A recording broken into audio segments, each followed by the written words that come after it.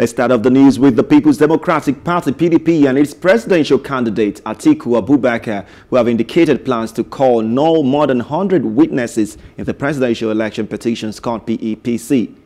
Atiku had filed a joint petition before the Presidential Election Petition Court in Abuja to challenge the declaration of Bola Ahmed Tinubu of the All Progressive Congress APC as the winner of the February 25 presidential poll.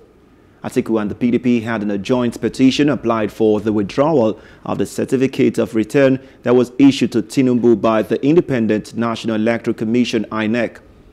They maintained that the declaration of Tinubu as the winner of the presidential election was invalid because of non-compliance with the provisions of the Electoral Act 2022.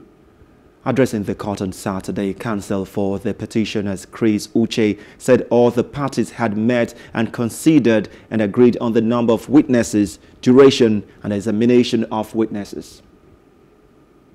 We have almost come to the end of the pre-hearing session.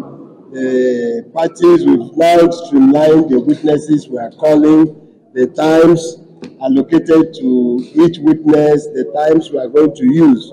And we are very happy with the progress that is being made and also the sacrifice that the court itself is making. You can see today is a Saturday, yet the court convened and sat in order to hear this matter, which underscores its importance. So once we finish with this um, pre-hearing, we now go into the actual hearing. We are very happy with the progress made so far. Hello. Hope you enjoyed the news. Please do subscribe to our YouTube channel and don't forget to hit the notification button so you get notified about fresh news updates.